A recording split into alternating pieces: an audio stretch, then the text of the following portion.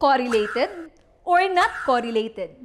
Have you ever wondered if a relationship possibly exists between two variables? What statistical method should be used to measure the strength of relationship between them?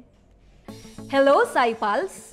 I am Ma'am Richelyn Pagana, your science teacher for today.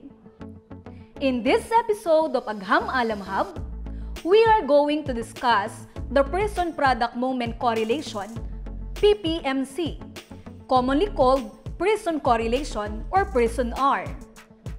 We will determine the assumptions before utilizing the PPMC in analyzing data. We will also calculate and analyze the Pearson correlation between a given pair of variable. Finally, we will determine the significance and limitations of person correlation coefficient in interpreting data. In the next few minutes, we will explore science for another uh, moment.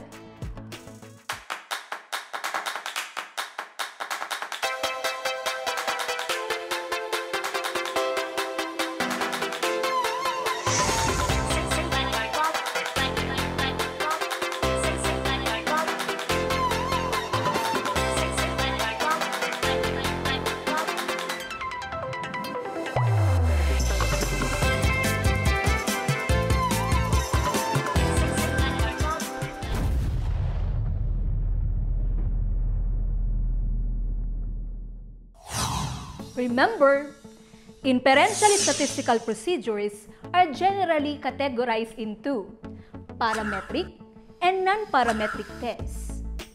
Parametric tests are used only if a normal distribution is assumed.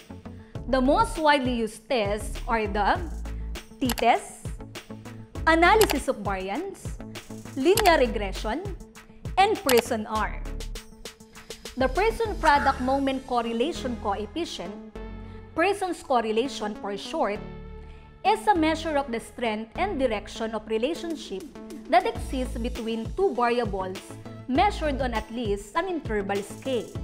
A Pearson's correlation attempts to draw a line of best fit through the data of two variables, and the Pearson correlation coefficient indicates how far away all these data points are from this line of best fit.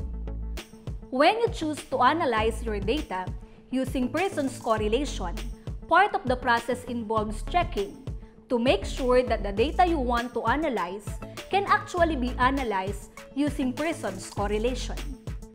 You need to do this because it is only appropriate to use Pearson's correlation if your data passes four assumptions that are required for Pearson's correlation to give you a valid result.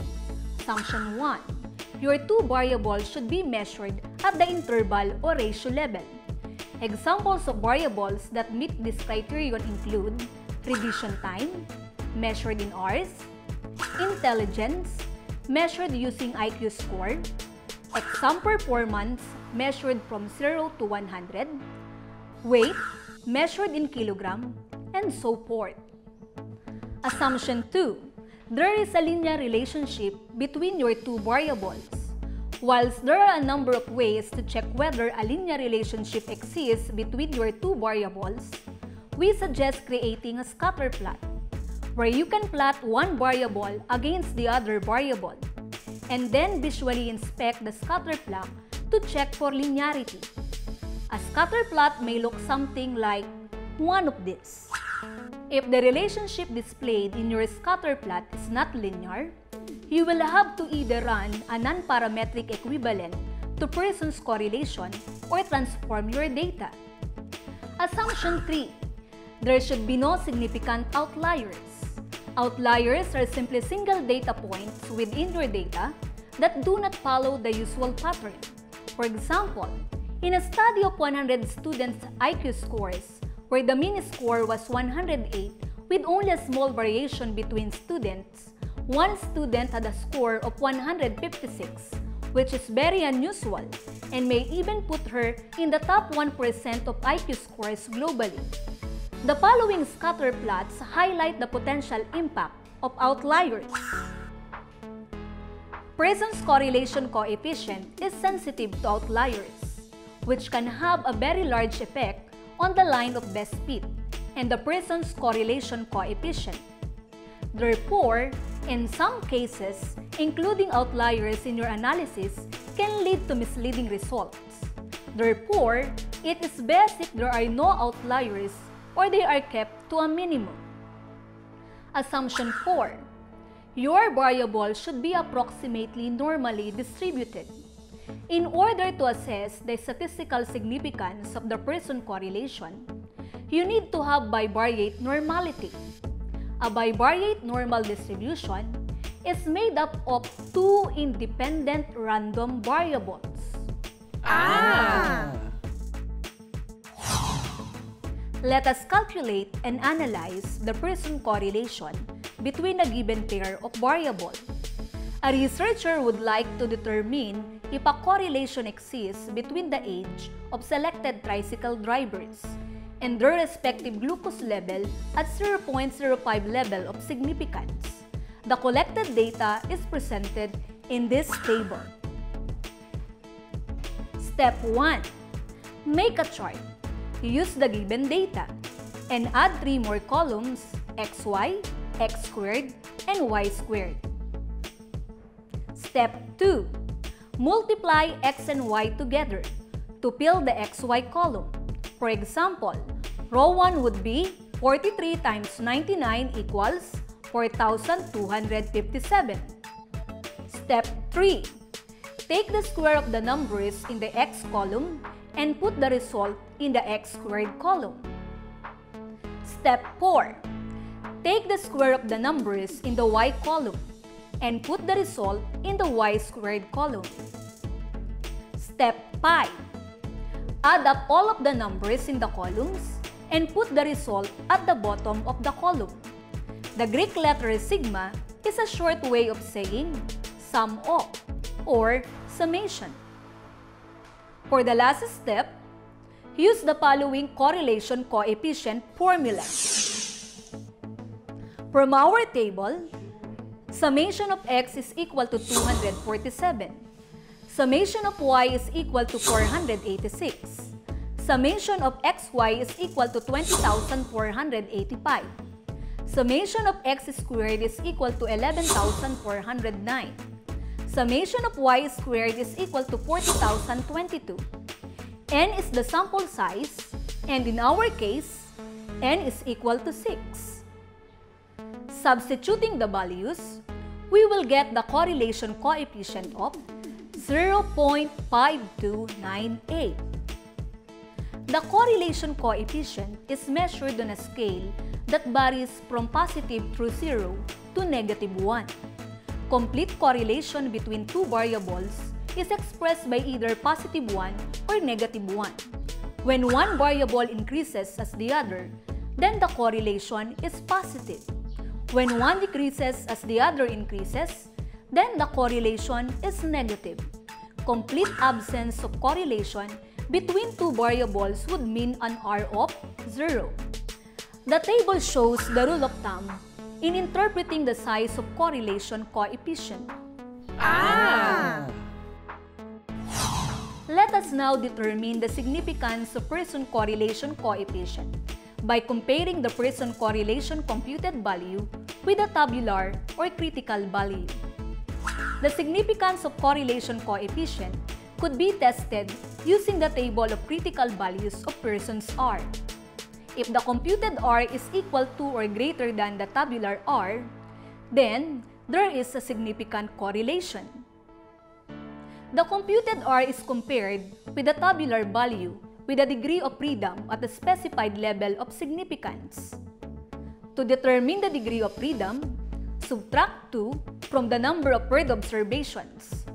Since the number of paired observations is 6, subtracted by 2, the degree of freedom or DF is 4. So, the Pearson coefficient critical or tabular value is 0.811.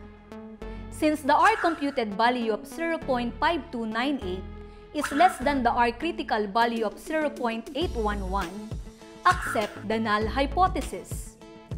Since the distribution of R is symmetrical, when R is equal to 0, the sign of R is ignored and thus the absolute value is used. Based on the rule of thumb for interpreting the size of a correlation coefficient, there is no significant correlation between the age of selected tricycle drivers and their respective glucose level at alpha 0.05 level of significance. Ah! Correlation has a lot of benefits, and it is still a good starting point in a number of different cases. But it is important to know its limitations as well. A correlation coefficient can only tell whether your two variables have a linear relationship. The correlation coefficient will only detect linear relationships. Just because the correlation coefficient is near zero, it doesn't mean that there isn't some type of relationship there. The other thing to remember is something most of us hear soon after we begin exploring data, that correlation does not imply causation. Just because X and Y are correlated in some way does not mean that X causes a change in Y or vice versa. Here is an example for this.